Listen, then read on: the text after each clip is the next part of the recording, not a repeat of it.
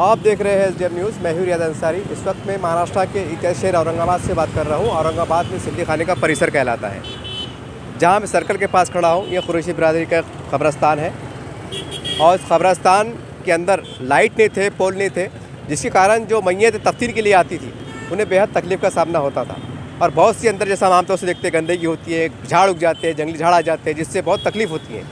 यहाँ के जो एक इमाम के कार्यकर्ता है, सामाजिक कार्यकर्ता है, तमाम लोगों का काविशों से यहाँ पर उनकी जद्दोजहद से लाइट के पोल को बिठाया गया खबरस्तान को बेहद साफ़ सुथरा किया गया, ताकि आने वाले जो मैतें हैं, वैसे तो हम देखते हैं इंसान की ज़िंदगी तकलीफ़ में गुजर रही है। हर इंसान, चाहे कम, छोटा हो, बड़ा हो, लेकिन ये एक पल ऐसा रहता है कि कम से कम जाने वाला सोचता चलो यहाँ तो मैं आराम से गुजर चाहूँ तो ये एहसास ना हो कि खंभे नहीं थे, वैसे तो होता नहीं ऐसा, लेकिन एक रूहानियत वाली बात होती है। चलिए कुछ बात करते हैं। पूरी टीम ने अच्छे काम किए अल्लाह इनको है और तरक्की दे और ऐसे काम करते रहो लोगों का फ़ायदा करे तो अल्लाह उनकी मदद करता है। आज जुबैर खुरीसिन जो काम किए हैं बहुत अच्छे किए।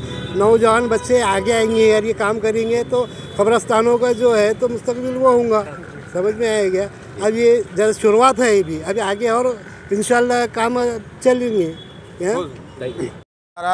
बखूबी जानता है किस तरीके से औरंगाबाद महानगर पालिका से काम निकलवाना हो या फिर किस तरीके से मजलिस इतिहादुलमसलिमिन की आवाज़ को कोने कोने तक पहुँचाना हो।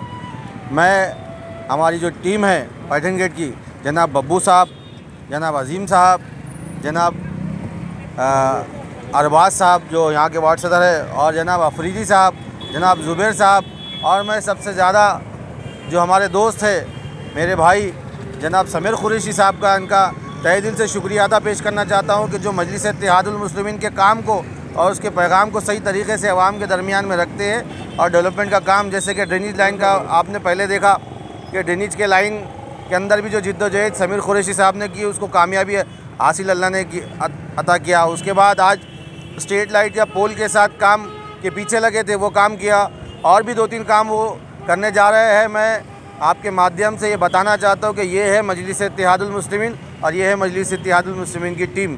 मैं आपके माध्यम से इन तमाम का शुक्रिया अदा करता हूँ और अपनी बात ख़त्म करता हूँ। मेरा नाम है हाजी समीर कुरेशी आज मजलिस इतिहादुलमसलिमिन ने जो मुझे ज़िम्मेदारी दी थी, अलहमदिल्ला मैं उस पर कामयाब हुआ हूँ। एक छोटा सा क्यों नहीं होता काम, छोटे छोटे से काम से अलहमदिल्ला मैं बड़ा काम भी अलहमदिल्ला इसकी शुरुआत खाजर साहब से उद्घाटन से करूँगा हाथों से उनके। आज जो पोल लाइट की स्टील लाइट, पहले खंबे थे, खाली खंबे फिर उसके ऊपर लाइट बिठाए।